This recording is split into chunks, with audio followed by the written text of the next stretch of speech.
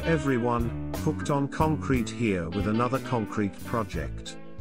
This is what we are going to build today. We are going to show you how we cast our cornerstones. We are also going to be adding coloring to our stones today.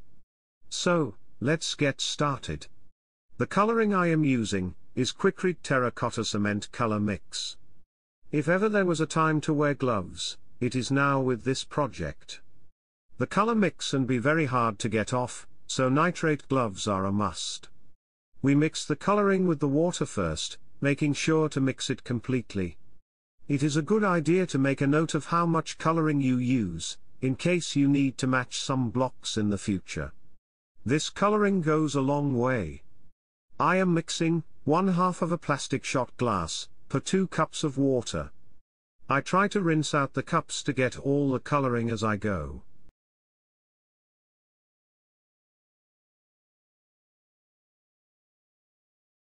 Then we add the Quikrete vinyl patcher cement and mix to a pancake-like consistency.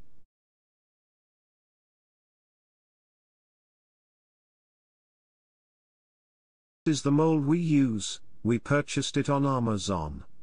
I will leave a link in the description. Once mixed up completely, we pour cement in each of the cavities.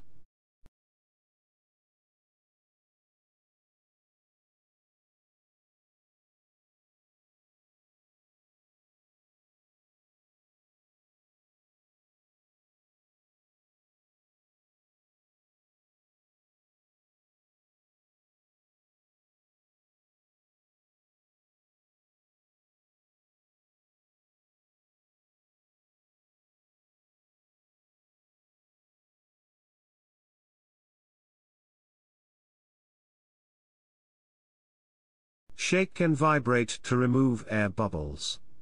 We vibrate the table with a Sawzall, without the blade. I think I should mention about cleanup. You never want to wash in a sink that goes into your sewer or septic. The concrete make look runny when you pour it down as you mix it with water.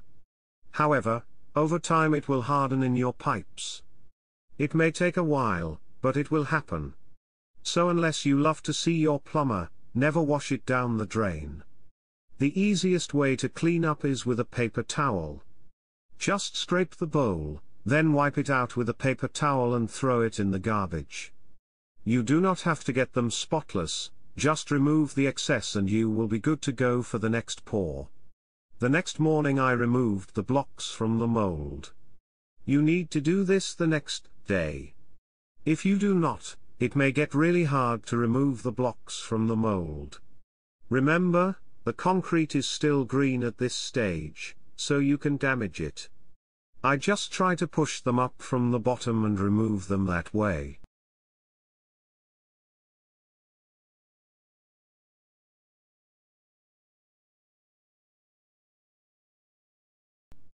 Here I am using a dog brush to get the concrete off of the top of the mold and then wipe it off with a paper towel.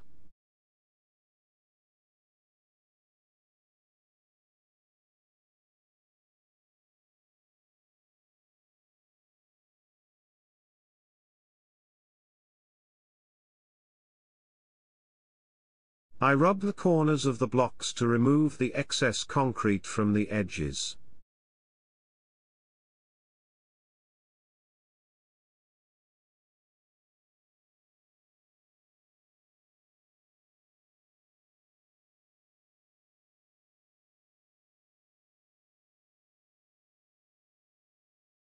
I then spray the blocks with water and wrap them with plastic pallet wrap.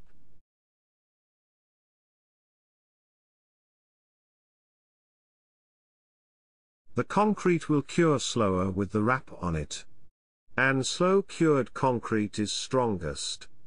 Well, I hope you liked today's episode. Until next time, this is Hooked on Concrete.